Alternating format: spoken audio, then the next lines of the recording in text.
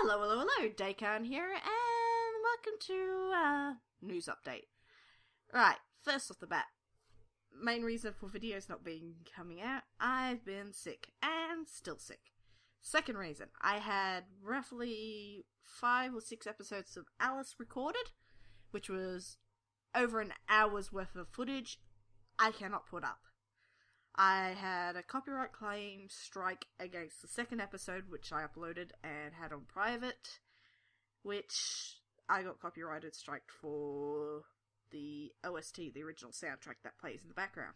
So, I have to record an hour's worth of footage again, which is those few episodes, cause, and turn the soundtrack off in the background. I am sorry for that, but that's all I can do to get around that.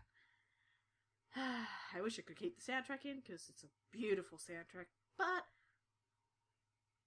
I can't do anything about the copyright strikes, and I can't really fight them. So that's why Alice is taking a long time. Undertale. I've been sick, and while I'm sick, I probably sound horrible doing this.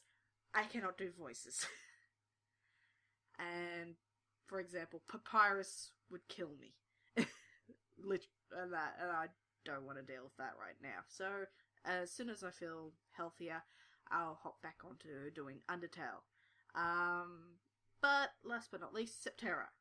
I picked it up again while I was fiddling with um, Alice, and I've got a few episodes of that, and they will be going up.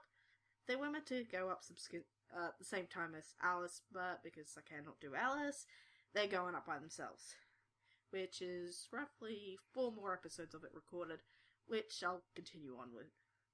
Um, that's about it. Hopefully, I can get around to re recording Alice with no issues, with no soundtrack. And Undertale will hopefully pick back up again. I'm just hoping to recover.